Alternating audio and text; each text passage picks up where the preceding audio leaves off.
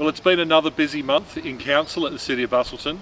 Please stay tuned to see what's happened for your council. Busselton Jetty sought Council's endorsement of its undersea sculptures project. Showing its support, the project will be formalised with a licence agreement. However, it is subject to approval from the Minister for Lands and Department of Transport. The Draft Strategic Community Plan 2021 2031 was endorsed and advertised. Public information sessions explaining how the draft was developed, what helped inform the draft plan, and what it means were held both in Dunsborough and Busselton during April. The opportunity to comment via the city's Your Say Busselton website will close on 7 May. A draft structure plan relating to Lot 4069 Commonage Road Yallingup was endorsed, subject to modifications.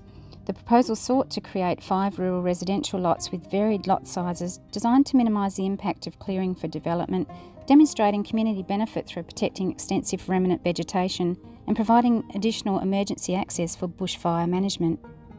The 2021 2022 schedule of fees and charges were adopted, subject to some minor amendments. Council endorsed a self-supporting loan of $110,000 for a term of 10 years to the Busselton Golf Club through the Western Australian Treasury Corporation. The loan was sought for the purposes of building a new maintenance shed at the Busselton Golf Club. Located at the rear of the old courthouse courtyard in the ArtGeo Cultural Complex, Studio 2 will be leased for a term of 12 months, subject to the Minister's for Lands approval. Following the success of the Community Assistance Program during COVID 19, Council agreed to maintain the program for the 2021 2022 financial year, focusing on support, facilitating programs, services, and projects that contribute to the social, environmental, and cultural development of the city.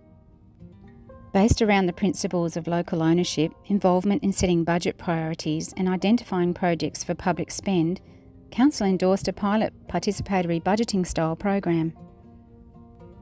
In response to community concern, Councillors resolved to support officer recommendations not to instigate any changes to the bushfire notice in the 2021 2022 year, as originally proposed. The City is currently reviewing its bushfire notice and it is in the process of seeking feedback from the community on potential changes.